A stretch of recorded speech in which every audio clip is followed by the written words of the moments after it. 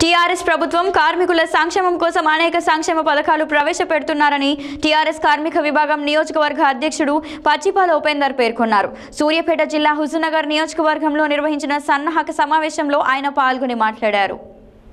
సూర్యాపేట జిల్లా హుజూర్ నగర్ నియోజకవర్గంలో రాష్ట్ర టీఆర్ఎస్ కార్మిక విభాగం సూచనల మేరకు నియోజకవర్గ స్థాయిలో గ్రామ గ్రామాన టీఆర్ఎస్ కార్మిక విభాగం ఏర్పాటు చేయాలని ఉద్దేశంతో నియోజకవర్గ అధ్యక్షుడు పచ్చిపాల ఉపేందర్ శుక్రవారం మట్టంపల్లి మండలం యాతవాకిళ్ళ గ్రామంలో సన్నాహక సమావేశం నిర్వహించారు.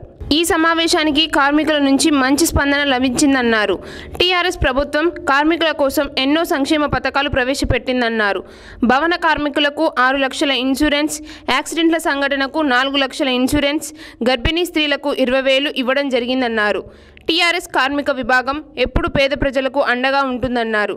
ఈ సమావేశంలో సర్పంచ్ లక్ష్మీ నరసింహారాజు ఉప సర్పంచ్ శాంతి కృష్ణంరాజు కీసర వెంకన్న బాలు వార్డు నెంబర్లు లింగయ్య తదితరులు పాల్గొన్నారు. స్టేట్ కమిటీ ఆదేశాల మేరకు నేను పచ్చిపాల ఉపేంద్ర నియోజకవర్గ కార్మిక సంఘ అధ్యక్షుడిని.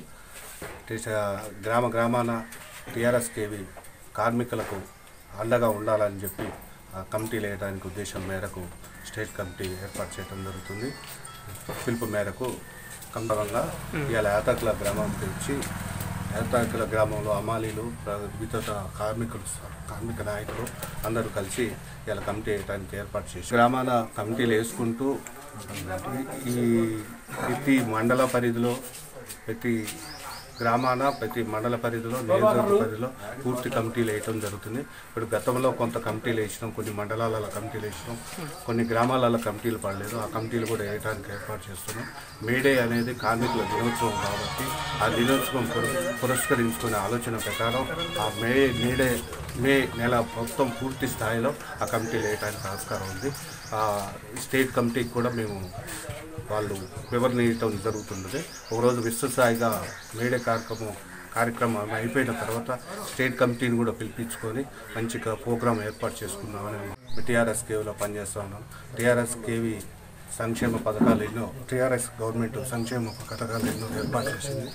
ఆరు లక్షల ఇన్సూరెన్స్ ఒకటి కార్మికులకి మరియు పాచికంగా యాక్సిడెంటల్గా ఏదైనా జరిగినట్టయితే నాలుగు లక్షల రూపాయల ఇన్సూరెన్స్ గర్భిణీ స్త్రీలకు ఇరవై వేల రూపాయల కాన్పు ఖర్చుగా ఏర్పాటు చేయడం జరుగుతున్నది.